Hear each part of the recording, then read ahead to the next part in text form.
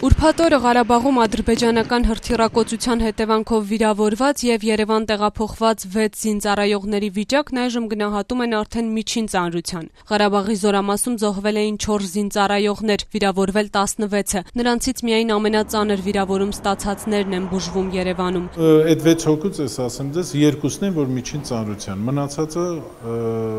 բավարար վիճակում են, երկուսը վաղը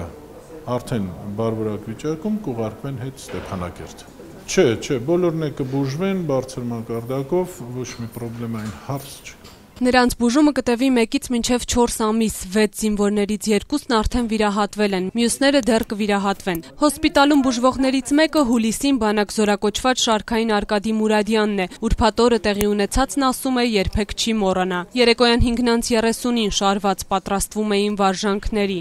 Դե հաց էինք ել, ուզում ենք ելնենք նորից էլի մեր կրակայինը շարունակենք, գնացել էինք կրակելու։ Շարված էինք, ուզում ենք շարունակենք մեր կրակայինը, ու այդ բային գցեցին ականները։ Առաջի հենց ականից ես վիրավորվա, ես ընկերներս։ Խոստովանում է, պայթյունից շատ էին վախեցել։ Այդ կամ բանը տեսնելուց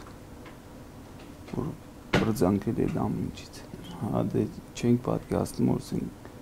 գրառման բան աներ։ Խառ իրավիճակն էլ այն է։ Ծուխ բարձրացավ։ Հա, ծուխ։ Դե մի անգամից գցեցին,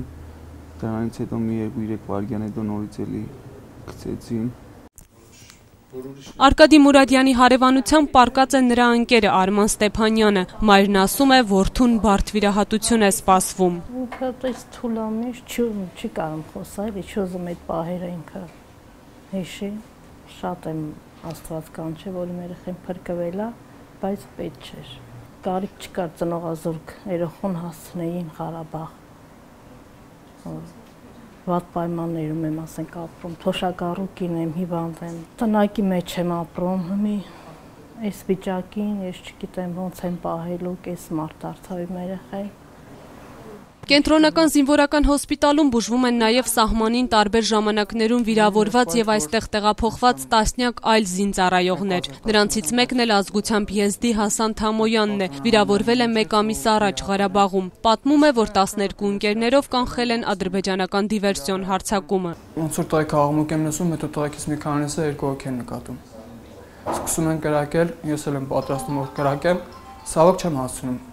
Ռիսկավոր զենքս այդ ժամանակ ստանում հրազաններին վնասված։ Մանա չեմ կորցրել ինձ։ Կարացել եմ մեջ ուժ գտնեմ ու ասենք հա, հասկանամ էլի ինչա կատարվում ու ասենք կնանց անեմ որ մեր տղեկան ասենք խոջապի չմատնեն իմ ասենք վիճակից։ Զինվորական հոսպիտալում կողք-կողքի բուժվող տղաներն այնուամենայնիվ ասում են առողջանալուց հետո պատրաստ են կրկին վերադառնալ ծառայության։ Պատրաստ ենք էլի, բուժվենք նորմալ եղնի ամեն ինչ որ կարողանանք էլի շարունակենք ծառայությունը պատրաստ ենք